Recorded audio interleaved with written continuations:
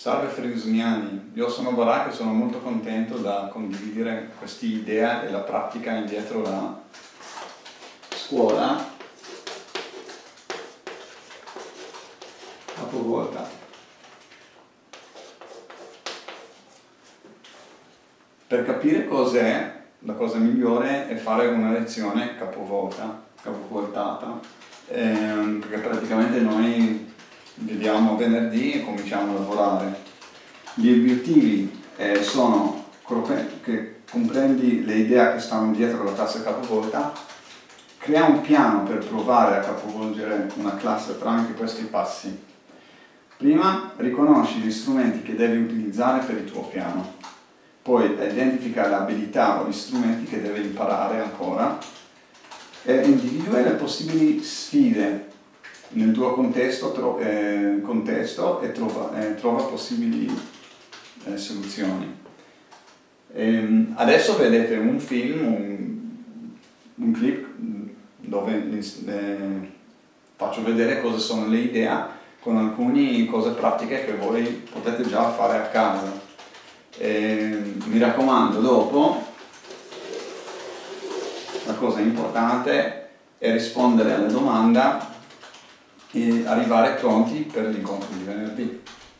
Allora, come abbiamo visto, eh, possiamo fare lezione proprio con una video o per esempio preparare pre eh, presentazione che va sul video, anche quello, e gli studenti possono ascoltare a casa. E adesso parliamo sulla scuola capovolta, le idee e soprattutto per la pratica. Ehm, Iniziamo con la, la cosa tradizionale. La, le, purtroppo tante scuole, non tutti, e tanti insegnanti e studenti sono abituati che quando vai alla scuola eh, praticamente c'è un insegnante che insegna, che, che fa una lezione, una, un lecture in inglese, eh, che gli studenti come vedete qua sono seduti eh, magari non sono anche concentrati, hanno finito, appena finito una lezione di sport, pensano a delle altre cose, ehm, però questa è la comunicazione, insegnanti avanti agli studenti. Eh, la comunicazione, anche se l'insegnante pensa che lui parla per tutti, è molto limitato, eh, soprattutto con i, eh, gli studenti che sono più bravi o che sono meno timidi, che vogliono eh, partecipare e, e anche se lui fa eh, attività più di gruppi di discussione, eh, tanto tempo della lezione è, ehm, è dedicato per presentare eh, argomenti, per presentare informazioni. Poi gli studenti vanno a casa, cosa fanno a casa? Eh, fanno i compiti. Eh, gli mm, insegnanti preparano materiali, preparano domande, alcune sono abbastanza difficili per analisi, per capire se hanno capito la lezione. Infatti questa parte è una parte importante e forse gli studenti devono avere molto più aiuto invece nella scuola che solo ascoltano all'insegnante. E, e, infatti eh, studenti che sono bravi eh, sono soprattutto quelli che hanno genitori o qualcuno a casa che può seguire con i compiti da casa e aiutare, che praticamente sarebbe un lavoro di insegnante. Nella classe capovolta è molto semplice, usiamo mezzi soprattutto tecnologici, però anche altre, ehm, che l'insegnante prepara materiali da vedere da casa allora i compiti di, de, de, dei studenti ehm, arriva adesso da casa, devono ascoltare per la lezione e poi arrivano a classe proprio dove c'è la scuola, dove lavorano, dove l'insegnante invece di fare lezione arriva a aiutare. Magari ci sono già tante scuole, soprattutto lingue, che lavorano così, però in generale eh, questo è un concetto diciamo abbastanza avanti per quelli nella scuola pubblico eh, e soprattutto per materiali di scienza dove c'è conoscenza e poi eh, risolvere po problemi. Allora questa è l'idea ehm, generale che secondo me è abbastanza semplice. Eh, parliamo un po' di benefici. Eh, se voi potete pensare adesso anche fare una pausa, pensare ma con questo sistema che io insegno da casa, preparo materiali, i bambini ascoltano eh, da casa loro, cosa sono eh, i benefici? Dopo che avete pensato potete andare con i video avanti, un esempio per esempio come, come fare lezione tipo così.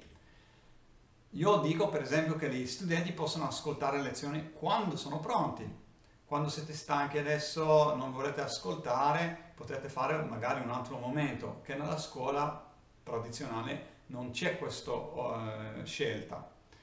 Ehm, studenti che hanno difficoltà da capire, a volte no, scusa non ho sentito, puoi ripetere, possono ripetere quando vogliono, vogliono senza disturbare gli altri studenti che vogliono andare avanti o perdono un po' la pazienza eh, dopo che eh, l'insegnante spiega troppo volte.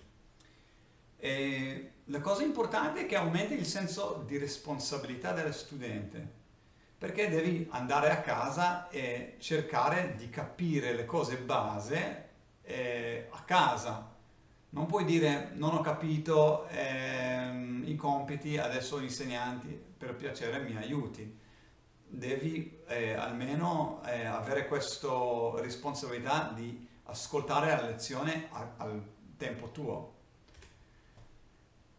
Però la cosa forse principale per gli insegnanti è che adesso gli insegnanti possono creare materiali con difficoltà e complessità variabili fare una spiegazione per chi ha un po' di difficoltà, poi eh, quelli che sono più bravi o che hanno già capito, vogliono eh, essere più in eh, profondità, andare più in profondità, possono anche ehm, eh, ascoltare per materiali fatti eh, per loro, ovviamente a costo di lavoro di insegnante, però secondo me ci sta. E un'altra cosa fondamentale secondo me è che adesso con questo sistema puoi aumentare i tempi di contatto significativi con gli studenti durante la lezione. Adesso non perdi tempo da spiegare un concetto o una, una, cosa. Hai fatto prima, hanno ascoltato, adesso pu puoi eh, diffondere, capire cosa hanno capito gli studenti, cosa non hanno capito. Eh, vuol dire che avete molto più tempo come insegnanti per creare discussioni, relazioni di problemi complessi, analisi e soprattutto progetti creativi. Che immagino che nelle scuole di lingue come Fluison non, non c'è eh, non c'è tanto di questi problemi, però io penso anche delle, delle altre materie, soprattutto le, le scuole pubbliche. Ehm, allora, la cosa molto importante è gli strumenti, perché per fare eh, lezioni, per dare questa possibilità ai studenti, eh, devi creare materiali, soprattutto digitali, sia online e quelli offline, che questo forse sarà una domanda che fate tanti, capisco, ehm, e parliamo un po' dopo cosa, la, cosa è la differenza, cosa è, sono le problematiche. problematiche. Do un po' esempi. Per esempio, adesso ho fatto un'azione che a parte PowerPoint Presentation. Ci sono tante presentazioni, l'insegnante deve sapere come fare, come anche registrare. E puoi usare un po' di software di editing, per esempio Movie Maker, un po' eh, vecchio Lightworks eh, e altre, per eh, preparare questi materiali per esempio videocamera che ho usato all'inizio di questo video lezione per fare vedere che potete praticamente anche fare con cellulare o fare avanti alla lavagna in classe tradizionale e fare come lezione normale. Poi ovviamente ehm, dovete usare YouTube per mettere questa informazione su con annotazione, ah, potete anche usare altri attrezzi però quello dopo eh, documenti, per esempio Google Docs e soprattutto Forms, eh, quelli che fanno i quiz, che mi raccomando alla fine che avete fatto questo video, eh, uso per un es esempio, così mm, risponda, eh, rispondete per domande che, che mi serve per venerdì, per l'incontro da venerdì. Se avete voi altri eh, attrezzi strumenti che possono creare materiali digitali, eh, questo sarebbe bellissimo eh, ascoltare a venerdì se avete idea o esperienze con altre cose. Poi eh, bisogna avere una piattaforma per comunicare eh, tra te e i tuoi studenti su base individuale e anche di gruppo. Vuol dire che, per esempio, creare Google, un site di Google, come ho fatto adesso. Il sito dove ho messo i materiali è creato gratuitamente su Google. E potete anche fare un blog, un'altra eh, maniera di, parlare, di, di, mettere i materiali, discutere con i, i studenti. un'altra cosa che in questa prima seduta diciamo che non parlo troppo perché è un po' complicato, l'idea di Wikimedia come la Wikipedia che anche gli, gli, eh, gli studenti, le, gli utenti di questa eh, piattaforma possono inserire materiali questo è molto importante e cambia un po' anche il discorso e, e la, il modo che potete lavorare, è molto più interattivo invece di solo mettere i vostri materiali su eh, un sito o sul blog. Però questo è davvero un, una cosa pesante per l'altro momento. Forse voi usate un'altra piattaforma Scrivete adesso, vedere se avete idea così non scappa, poi eh, parleremo, parleremo, anche a venerdì, eh, anche in quiz. Poi la cosa importante è che ovviamente ci sono ostacoli, una, la teoria la pratica sono, tante volte sono un po' lontani. Eh, una domanda che chiedono spesso Oggi è meno, meno difficile, però eh, anche oggi ci sono quelli che non hanno accesso online affidabile. E allora cosa fate con loro? Eh, prima voglio che voi pensate, prima di andare avanti con questo video potete, eh, potete anche schiacciare pausa e pensare perché questo è una cosa fondamentale, poi do i miei esempi.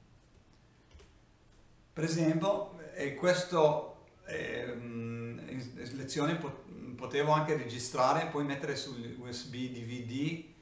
Ovviamente la prima lezione non potevo incontrare prima, allora ho messo sul, solo online, però per la, il futuro se qualcuno ha problemi posso anche fare una lezione così, dare da, a casa eh, se ci sono bambini che non hanno PC eh, a casa o hanno un strumento digitale per vedere anche materiali offline, mm, una bella domanda se la scuola vuole investire per alcuni iPad, tablet che possono eh, dare in prestito. E ehm, poi le cose che più in scuole pubbliche, eh, che gli studenti non sono abituati a prendere questa responsabilità. Tanti vengono a casa, non fanno i compiti a casa, però qua è molto fondamentale che ascoltano prima, eh, prima di andare a, alla scuola a fare l'attività più creativa. Allora cosa potete fare? Pensate voi come incoraggiare, non fare... Eh, terrorismo, però come potete usare eh, strumenti, eh, strategia per coinvolgere gli studenti di più. Per esempio, potete fare verifiche online. Ok, adesso facciamo online, dopo questa lezione mi chiedo che fate eh, rispondere un po' di domande di quiz, così almeno lo so se avete visto o no. E poi se davvero è necessario potete anche usare questi risultati come un biglietto di entrata all'attività a scuola. Eh, se non hai guardato, eh, mi dispiace, non puoi partecipare in questa attività. Puoi stare in un angolo uh, alla classe e guardare il video che dovevi guardare prima. Eh, però auguro che con eh, la scuola italiana questi non sono i problemi, quando gli studenti sono motivati Ovviamente che sì, un attrezzo e, e, soprattutto con la pandemia eh, potete anche fare alcune cose da remote. Eh, allora, cosa facciamo adesso? Ti do compiti a casa. Per, spero che non era troppo lungo, però pensate all'idea generale. come potete voi applicare nelle vostre azioni? Quali aspetti che ispirano? Come pensate di poter eh, beneficiare in questo metodo? Cioè, soprattutto se avete contesto diverso, fate la scienza, fate le lingue, fate la storia, eh, ovviamente il tipo di attività che fate eh, sarà un po' diverso, però il concetto è uguale. Eh, forse non, a questo non vi piace tanto, eh, anche affatto, eh, però questo anche è una, una cosa buona, è molto apprezzato. Eh, formulate i vostri pensieri per venerdì e così facciamo anche già una discussione più eh, profonda. E come ti senti usare strumenti tecnologici? Perché è molto, molto complesso, ci sono tante cose, alcune sono, forse ci sono aree che sei particolarmente debole o forte e potete anche condividere con gli altri. E queste faccio anche domande sul, ehm, sul quiz.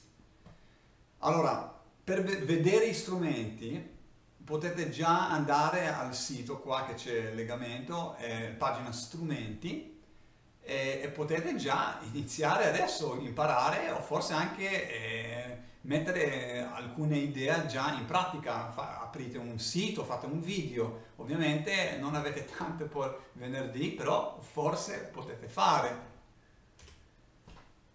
Allora, la cosa fondamentale per piacere rispondete per, eh, alle, alle, quiz di pagina di, di introduzione che, che, è qua e, ehm, e poi ci sentiamo venerdì. Secondo me questo è fine lezione. Ci vediamo!